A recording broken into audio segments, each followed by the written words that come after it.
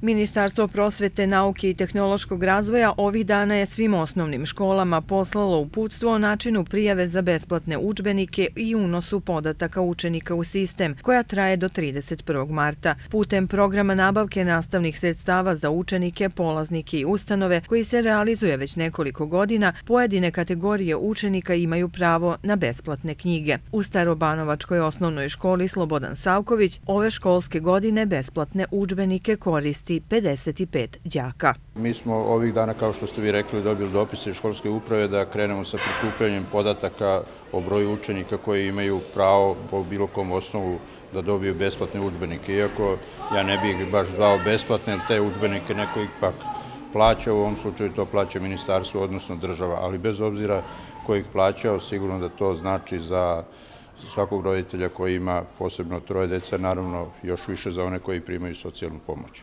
Kada se uzme u obzir da Staropazovačka opština ima 10 osnovnih škola, to znači da u proseku približno nešto više od 500 osnovaca uči iz besplatnih učbenika. Obaveze kupovine knjiga oslobođeni su i roditelji najmlađih osnovaca, zahvaljujući predsjedniku opštine Stara Pazova i lokalnoj samoupravi. Naši učenici prvog razreda dobijaju ne samo besplatne učbenike, nego i pribor i sve ono što mu je zapravo neophodno za polazak u školu. Novina je da će ove godine besplatne učbenike dobiti i džaci koji se obrazuju po programu za učenike sa izuzetnim sposobnostima, kao i gluvi i nagluvi učenici koji koriste elektronske učbenike sa video sadržajima na srpskom znakovnom jeziku. Ministarstvo prosvete obezbeđuje i učbenike za ove kategorije učenika i na jezicima nacionalnih manjina, kao i učbenike prilagođene za decu sa smetnjama u razvoju.